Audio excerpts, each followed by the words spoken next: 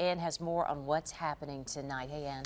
Hi, Holly. Yeah, this is the Facebook page that was created to stop bullying, and it's all for Tiffany Davis. It already has almost 2,000 likes, as you can see right here.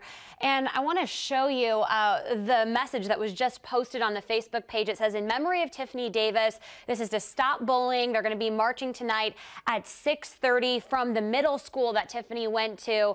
Uh, they're actually marching to the middle school. Uh, she's a seventh grader. Tiffany Davis killed herself in late April. Uh, she uh, apparently did this shortly after um, she was bullied. That's what a lot of parents and a lot of students at the school are saying. And this all came out in the weeks after her death. So Coffee County parents have come together. The sheriff uh, was investigating this to see if this bullying uh, was really taking place. And that's still under investigation. But we do know that even some students at the school were, uh, they were blaming each other for bullying Tiffany Davis. So uh, this is ongoing and the march is happening to just really make sure that no other students are being bullied at the school. There's so much pain and uh, grief that's happened, of course, because of this horrible tragedy. Uh, so they want to shed a light on bullying. They're making tie-dyed t-shirts uh, and they're going to be marching today uh, at 6.30 p.m.